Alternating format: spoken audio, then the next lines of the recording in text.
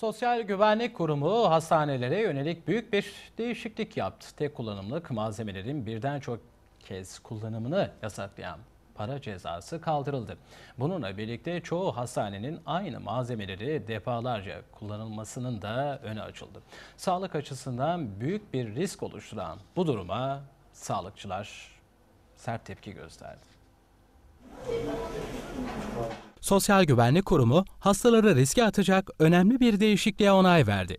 Tek kullanımlık malzemeleri birden çok kez kullanan hastanelere 10 bin liralık ceza uygulanıyordu. Milliyet'in haberine göre özel sağlık kurumlarından hizmet satın alım sözleşmesinde bulunan tekrar kullanılmaması gereken tıbbi malzemelerin tekrar kullanım halinde bedelleri ödenmez ve her bir kullanım için 10 bin lira cezai şart uygulanır hükmü SGK tarafından sözleşme metninden çıkarıldı.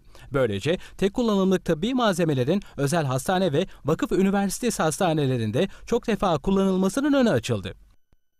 Kritik ameliyatları kapsayan bu düzenleme hastalar açısından büyük risk taşıyor. Kalp anjiyosu gibi kritik müdahalelerde aynı malzemeler tekrar tekrar kullanılabilecek. Yeni uygulamayla özel hastanelerin SGK'ya fatura ettiği harcamalarda da otomatik olarak düşüş gerçekleşeceği belirtiliyor. Ancak bu ölümcül tasarruf birçok sorunu beraberinde getirebilir. Çünkü tek kullanımlık tıbbi malzemelerde gerçek anlamda sterilizasyon sağlanamıyor.